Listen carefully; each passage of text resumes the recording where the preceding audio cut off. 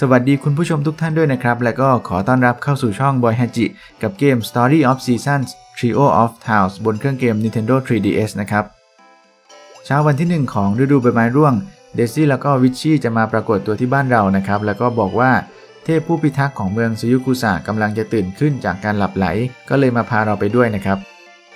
โดยเทพตนนี้เนี่ยมีชื่อว่าอินารินะครับ สาเหตุที่อินาริเนี่ยหลับไหลไปหลายปีนั้นนั่นก็มาจาก ความผิดพลาดของการทดลองเวทมนต์ของเดซี่แล้วก็วิชชี่นั่นเอง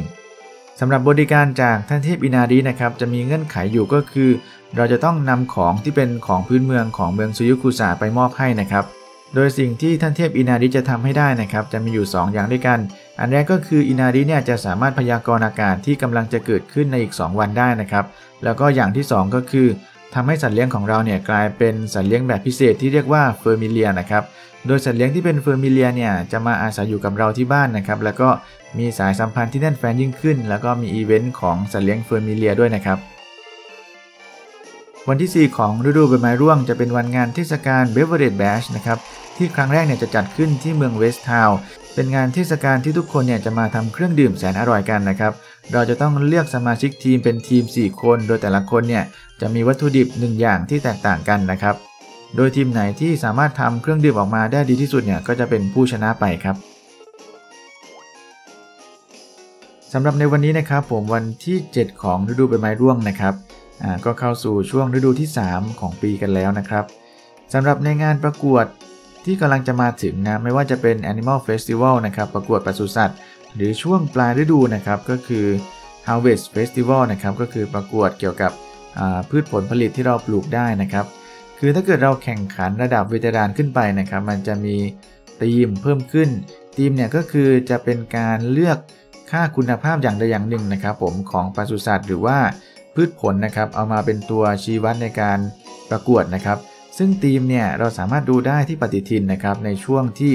ฤดูนั้นเนี่ยมาถึงนะครับ ก็คือพอกดเข้ามาดูในส่วนของ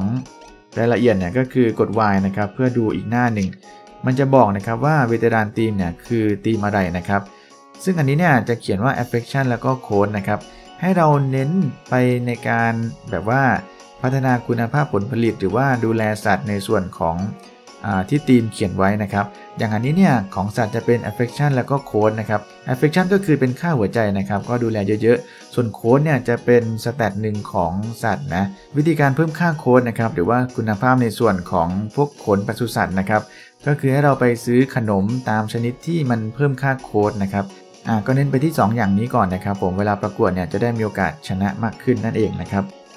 มาเข้าสู่ฤดูใบไม้ร่วงนะครับ เดี๋ยวมาอัปเดตฟาร์มกันสักหน่อย เช็คจดหมาย ส่วนด้านบนก็คือเป็นส่วนของม้ายืนต้นนะครับ ผมก็ใส่ปุ๋ยทุกวันนะ อันไหนใส่ปุ๋ยชนิดหนึ่งเต็มแล้วเนี่ยก็จะเปลี่ยนไปอีกชนิดหนึ่งนะครับ อย่างอันนี้ผมจะใส่ปุ๋ยถุงชมพูนะครับสำหรับ 4 ต้นนี้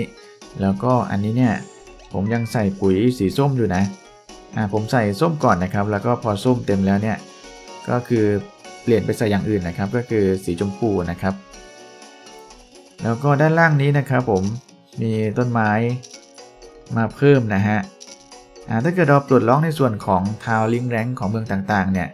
ก็คือมันจะมีแบบพืชชนิดใหม่มาให้เราซื้อแล้วก็เอาไปปลูกนะครับ ไม่ว่าจะเป็นพืชที่ต้องรดน้ำหรือว่าเป็นไม้ยืนต้นนะครับสำหรับไม้ยืนต้นเนี่ยผมจะปลูกอย่างละหนึ่งนะถ้าเกิดว่ามีอะไรมาใหม่เนี่ยผมก็จะไปซื้อมา1อันแล้วก็เอามาปลูกนะครับ ตอนนี้คือแบบโอ้โหเยอะมากเลย คือมีด้านบน 6 ใช่ไหมแล้วก็อันนี้อีก 3 นะครับ แล้วก็อันนี้ที่เป็นต้นไม้อีกแบบหนึ่งนะก็คือต้นเมเปิลนะครับ คุณภาพเนี่ยเต็มเรียบร้อยแล้วนะ มันใส่ปุ๋ยได้แค่แบบเดียวนะครับผมสำหรับต้นเมเปิลต้นเมเปิลเนี่ยรู้สึกจะต้องรอเป็นช่วงฤดูใบไม้ผลินะถึงจะสามารถเก็บเกี่ยวได้นะครับผม อันนี้ก็รอกันยาวๆนะฮะสำหรับต้นเมเปิล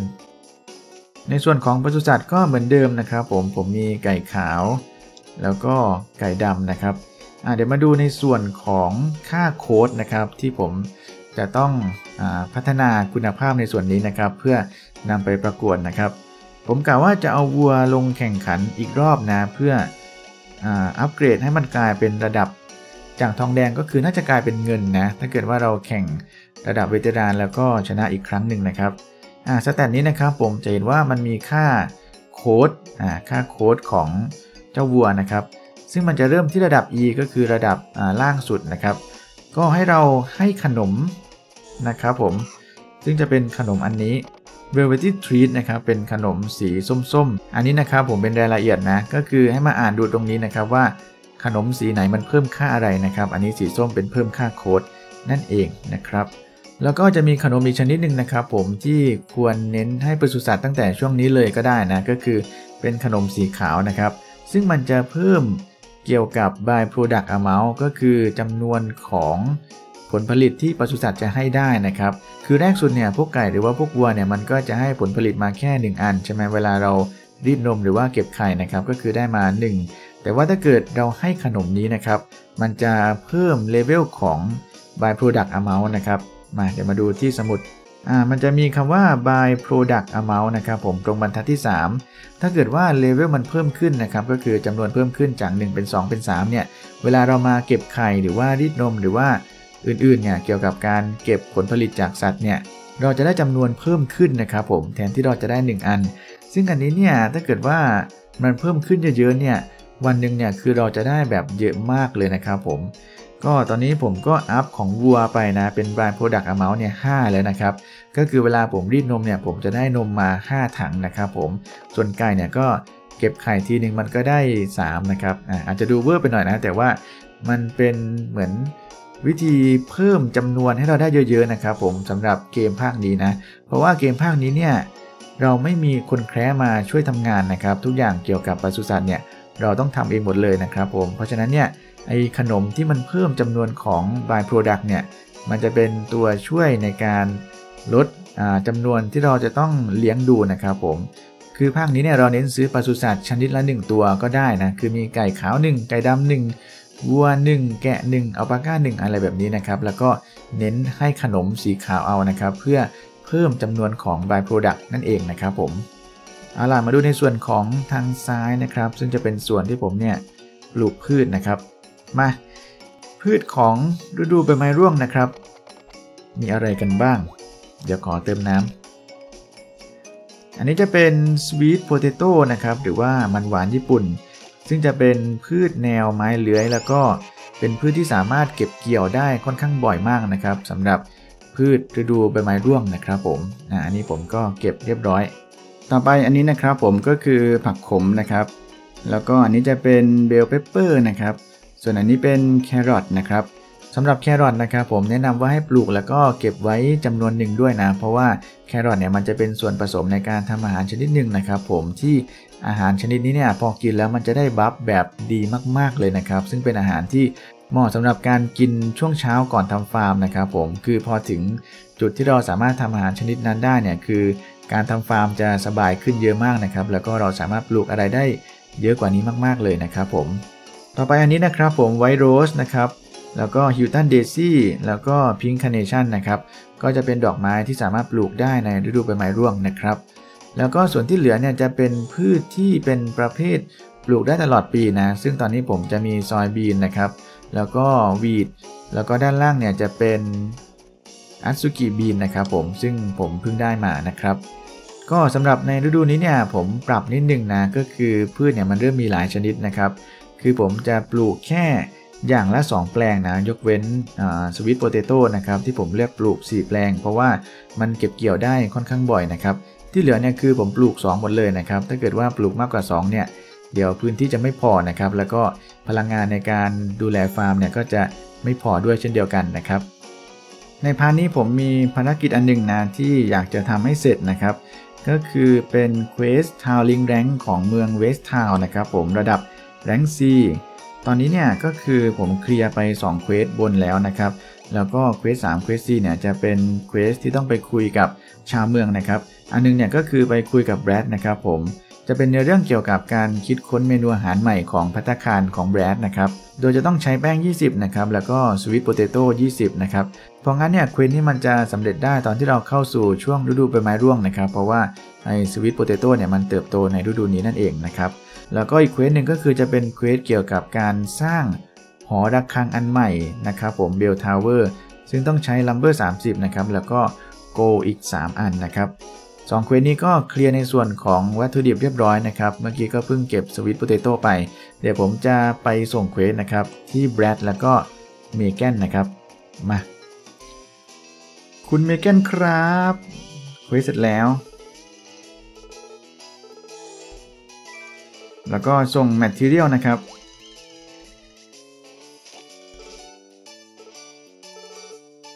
เอาล่ะ ตอนนี้เราก็มีวัตถุดิบพร้อมเรียบร้อยแล้ว เดี๋ยวจะเริ่มทำการปรับปรุงหอนาฬิกากันเลยถ้าเกิดทุกๆคนเนี่ย พร้อม อ่า build the bell tower นะครับ เรียบร้อย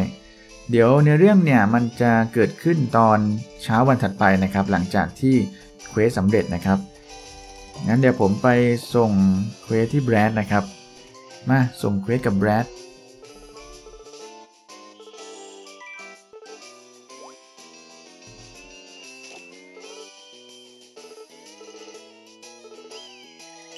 ตอนนี้ก็เรียบร้อยนะครับ เอาเป็นว่าเดี๋ยวผมจะนอนข้ามวันไปดูอีเวนต์นะว่าอีเวนต์มันเป็นยังไงนะครับผม rank C ของเมืองเวสต์ทาวน์นะครับ มานอนข้ามวันกันนะครับ เดี๋ยวมาดูกันว่า จะเกิดอะไรขึ้นนะครับ Let's finish the town's bell tower โอเคเควสสร้างหอระฆังนะครับผมเกิดก่อนอมีแกนนะครับมาแจ้งว่าตอนนี้เนี่ย ทุกคนคือพร้อมแล้ว เราจะไปเข้าร่วมด้วยนะครับแรงที่แล้วเนี่ย ก็คือจะเป็นการปรับปรุง สะพานอ่าปรับปรุงสะพานใหม่นะครับ คราวนี้เนี่ยจะเป็นในส่วนของหอระฆังนะครับ ซึ่งหอระฆังเนี่ยมันจะอยู่ตรงซ้ายบนสุดเลยนะครับ ของเมืองเวสต์ทาวน์นะครับอะก็คือส่วนนี้อะตุบตับตุบตับตุบตับ อันนี้คือโปรเกรสของการสร้างของนะครับ ของภาคนี้มันจะแบบ นัวนัวหน่อย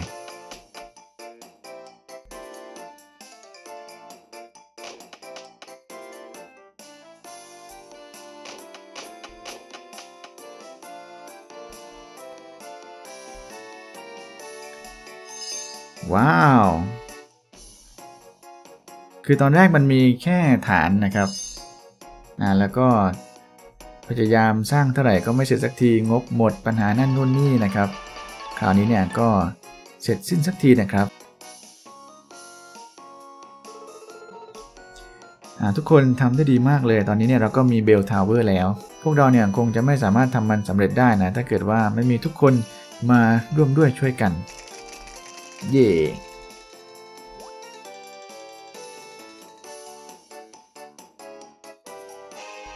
เอาว่า อ่า ต่อไปเดี๋ยวนอนข้ามวันอีกหนึ่งครั้งนะครับ ก็น่าจะเป็นเควสของแบรดนะครับผมเกี่ยวกับการคิดค้นเมนูใหม่นะครับ มาดูกัน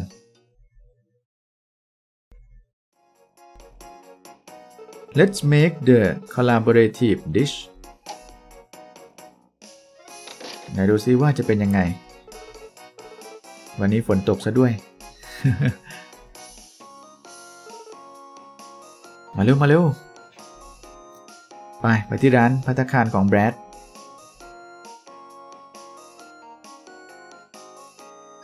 ไหนดูซิว่าได้เมนูอะไร เอาล่ะ เรามาเริ่มกันเลย เราเราช่วยทำด้วยใช่ไหม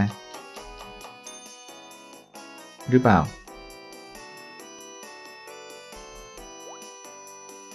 อะไรอะ่ะ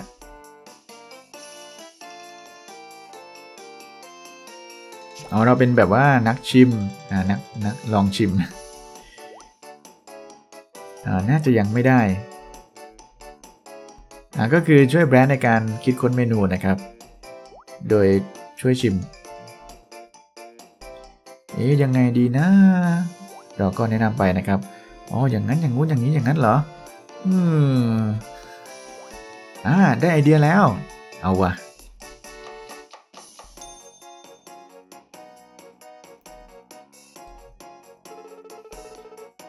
โอเค มา งั้นลองอันนี้ซิว่าได้หรือเปล่า งับงับงับ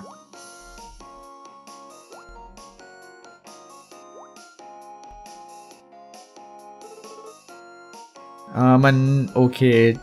จริง ๆ ใช่ไหมวู้สำเร็จแล้ว รอบนี้ดูท่าจะได้แล้วนะครับ แล้วคือเราจะได้แบบว่าสูตรอาหารมาไหมอะ นี่ฉันติดหนี่นายแล้วฮาจิ ถ้าเกิดไม่มีนายคอยช่วยเนี่ย คงจะไม่สามารถทำเมนูสุดพิเศษนี้ได้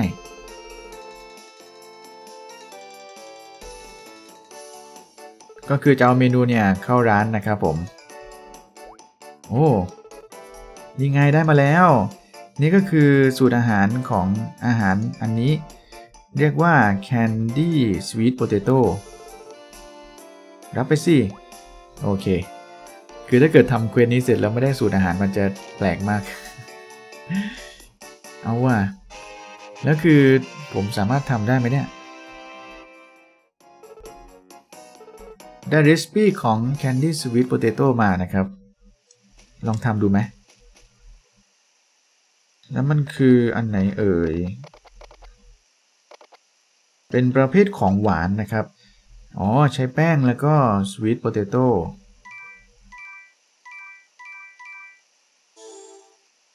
นะลองทำเลย ไหนมาลองเทสชิมหน่อยสิว่าจะได้บัฟอะไร Candy Sweet Potato นะครับ กินงับ เอ่อก็ไม่เห็นได้อะไรนะ แล้วไม่รู้ว่าได้หัวใจเพิ่มขึ้นเท่าไหร่ด้วย เพราะว่าหัวใจเต็ม โอเค อ่าสำหรับ Quest Town Link Rank 4นะครับ ของเมือง West Town ก็ปลดล็อกเรียบร้อยนะครับ ผมมีอีเวนต์2อันก็คือ สร้าง Bell Tower อันใหม่นะครับ แล้วก็คิดค้นสูตรเมนูอาหารใหม่กับแบรดนั่นเองนะครับ โอเค การทำ Quest Town Link Rank ก็ยังดำเนินต่อไปนะ ผมจะเคลียร์ให้ครบนะครับ ตอนนี้ก็ มาได้ราวๆครึ่งทางเลยนะอ่า West Town B นะครับผมสุยุกุสะกำลังจะถึงดีนะครับผมกำลังจะติดล็อกดีส่วนลูลูโคโค่เนี่ยก็ผ่านขึ้น C มาแล้วนะครับ โอเค เอาล่ะสำหรับในพาร์ทนี้นะครับผมก็เริ่มต้นเข้าสู่ฤดูใบไม้ร่วงนะครับ ก็จบลงแต่เพียงเท่านี้นะครับ เดี๋ยวไว้เจอกันใหม่ในคราวหน้านะครับผมกับ Story of Seasons Trio of Towns นะครับ ขอบคุณเพื่อนๆทุกคนที่เข้ามาดูเข้ามารับชมกันด้วยนะครับผม สวัสดีครับ